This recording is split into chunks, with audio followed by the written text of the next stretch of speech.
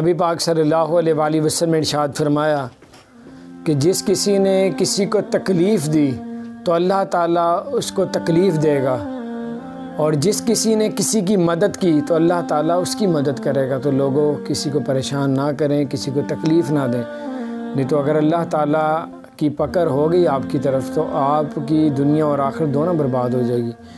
اور پھر آپ پچھتائیں گے، بعد میں موقع نہیں ملے گا اور اللہ کی پکڑ بہت زیادہ سخت ہوتی ہے۔ تو دوسروں کا خیال کریں، ایک دوسرے کی مدد کریں۔ جو ایک دوسرے جو بھی شخص کسی کی مدد کرتا ہے، اللہ تعالیٰ اس سے بہت زیادہ راضی ہوتا ہے۔ اللہ تعالیٰ کہتے ہیں کہ جو اپنے بھائی کی مدد کے لیے لگ جائے گا تو اللہ تعالیٰ اس کے کاموں کے لیے لگ جاتا ہے۔ تو آپ ایک دوسرے کی مدد کریں۔ یقین مانے مسلمان سب ایک ایک دوسرے کے بھائی ہیں اور اپنے بھائی کا خیال کریں، احساس کریں۔ اور غیبتیں، چگلیاں اور ایک دوسرے کا برا نہ سوچیں اور ایک دوسرے کا کام نہ خراب کریں۔